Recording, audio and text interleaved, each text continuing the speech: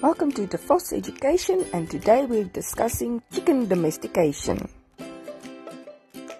In the time when humans were beginning to cultivate edible plants and making primitive pottery, they also began to tame and breed the red jungle fowl, a tree roosting bird with a big fluffy tail, a brightly colored comb and glossy brown neck feathers. These fowl were moved out of tropical forested areas or maybe even bamboo thickets into human villages. Domestication led to considerable differences between the domesticated variant and their wild counterpart with respect to behavior, anatomy, and physiology. The red jungle fowl cock has shining silky plumage, red on the head and back, and green black elsewhere a pattern also seen in several domestic breeds. The hen is a rusty brown with speckled neck and minimal comb. The adult red jungle fowl is between 43 and 76 centimeters long. The head of the cock has ear wattles and a red comb, while the neck is yellow with a brightly reddish back.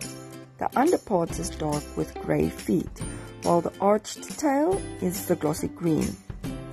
Where the chicken is really from is a very important question for understanding when the chicken was domesticated. The first chicken to ever cross the road was likely in Southeast Asia. When referring to the Neolithic period, we designated to the Old World cultural period of about 8000 to 3500 BC it was characterized by polished stone tools, pottery, weaving, stock rearing, agriculture, and in some cases, megaliths. The wild species of gallus that may have contributed to the domestic fowl include the red jungle fowl, the grey jungle fowl, the Sri Lanka or Ceylon fowl, and the green or Java fowl. A gene from the grey jungle fowl is responsible for the yellow pigment in the legs and different body parts of all domesticated chickens. Records from China and Egypt show that fowl were domesticated and laying eggs for human consumption around 1400 BC, and there are archaeological evidence for egg consumption dating back to the Neolithic age. The Romans found egg-laying hens in England, Gaul, and among the Germans. In spite of this evidence, it is now known that cockfighting was the reason why chickens spread all over the world. Cockfighting is an ancient spectator sport. There is evidence that cockfighting was a pastime in the Indus Valley civilizations. The sport was popular in India, China, Persia, and other eastern countries and was introduced into ancient Greece in the time of Themistocles.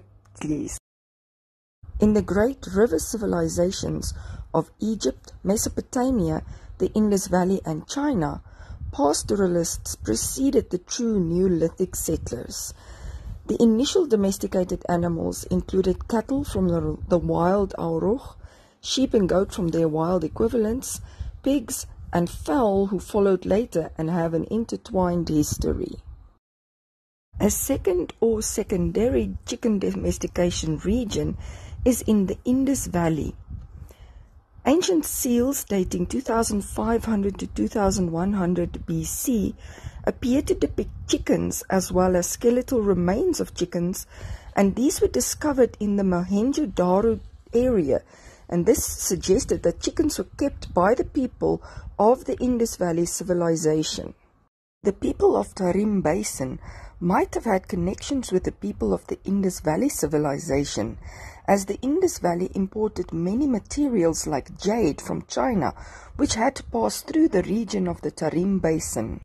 The Tarim Basin culture was founded by people who were of Indo-European origin and had inhabited northwest parts of China, whereas the Indus Valley civilization was a big civilization covering almost the entire Pakistan, northern and western India, and some portions of Afghanistan. With the transportation hub of China, Persia, India, Syria, Rome, Lulan City was one of the most open and prosperous metropolises in the world. Chickens appear to have been introduced to the peoples along the Mediterranean coast beginning in the 8th century BC and became common throughout Greece and Asia Minor by the 6th century BC. The first pictures of chickens in Europe are found in Corinthian pottery of the 7th century BC. The poet Cratinus, mid 5th century, calls the chicken the Persian alarm and in Aristophanes' comedy of the birds, 414 BC, a chicken is called the Median bird, which points to an introduction from the east. Seals bearing the images of roosters were discovered at Nimrud, the biblical Calah, and this indicated that chickens were kept in Assyria by the 8th century BC. The term Persian bird for the cock appear to be given by the Greeks after Persian contact because of his great importance and his religious use among the Persians. But even long before that, in Iran, during the Kenian period, from about 2000 BC to about 700 BC, the cock was the most sacred bird. In the city of Maresha, Israel, a city that enjoyed its peak during 400 to 200 BC, archaeologists found chicken bones, thousands of them, bearing the marks of knives used to butcher them. An ostracon, a flake of stone with writing on, was found outside the tomb of Tutankhamun and it shows uh, clearly depicts a rooster on it. This is from about 1300 BC. There is no recorded mention of the domestic chicken in ancient Egypt before the Middle Kingdom, 2100 to 1700 BC. Both Aristotle and Diodorus, well known Greek writers, referred to Egyptian egg incubators, an ingenious system of mud ovens designed to replicate the conditions under a broody hen.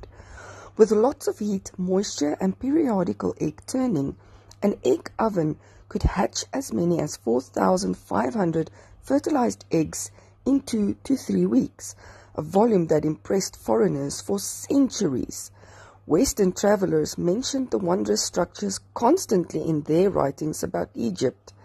In 1750, the French entomologist René Antoine Ferchault de Reaumur visited an egg incubator and declared that Egypt ought to be prouder of them than her pyramids.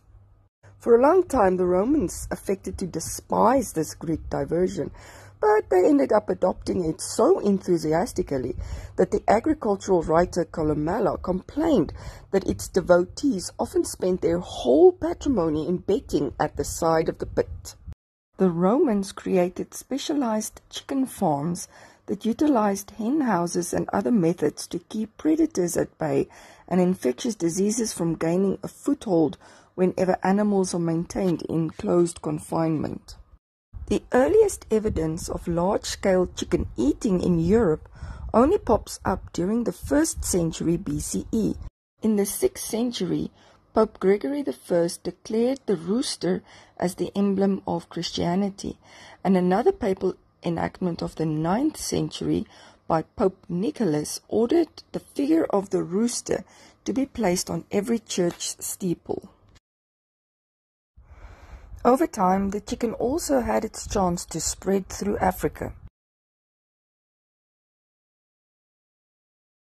During the Great Depression and the restrictions of World War II, choosing birds for how many eggs they could lay was a smart strategy.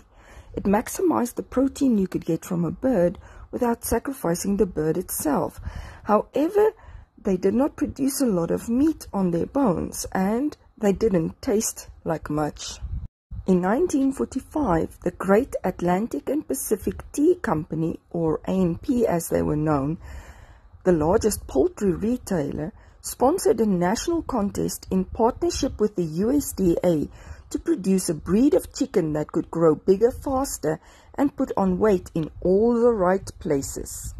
The unfortunate end result of this is that the varied backyard and farmyard breeds of yesteryear all became one predictable hybrid, a mild-mannered, white-feathered, big-breasted bird, supplied by a single company. In the 1960s, the goal of selective breeding in meat chickens was basically all about increased growth rate and increased meat production. The 1920s and 30s saw scientific research facilities emerge in an effort to increase egg laying capacity through breeding and genetic manipulation programs. The Serama is the smallest breed of chicken in the world. Typically, under 500 gram, but with even smaller birds that are under 250 grams being bred in the native Malaysia. Chickens have a squat and rounded appearance. They stand less than 70 centimeters tall and weigh approximately 2.6 kilograms on average. The largest chicken breed is the Jersey Giant, the males weigh from 6, 5.8 to 6.8 kilograms and has a height of 60 to 66 centimeters. The hens are slightly lighter in weight and shorter. The black is on average one pound heavier than the white.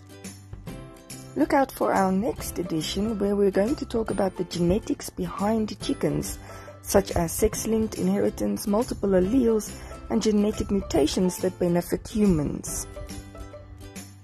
DeVos Education videos aims to make content colorful and clear to understand. The videos are based on the CAPS syllabus in South Africa with some extensions and expansions to other syllabi around the world. Connect with us at teacherspayteachers.com forward slash store forward slash DeVos Education. Also visit our Facebook site, join our link at DeVos Education and we also have a website that offers programs to run through as a homeschooling syllabus. If you want to know more about diversity and change, look at the following videos. There's an introduction to natural selection, natural selection on a coral reef, natural selection of bears, an introduction to artificial selection, domestication of chickens, and the domestication of foxes. So like, share and subscribe. Come on, you want to.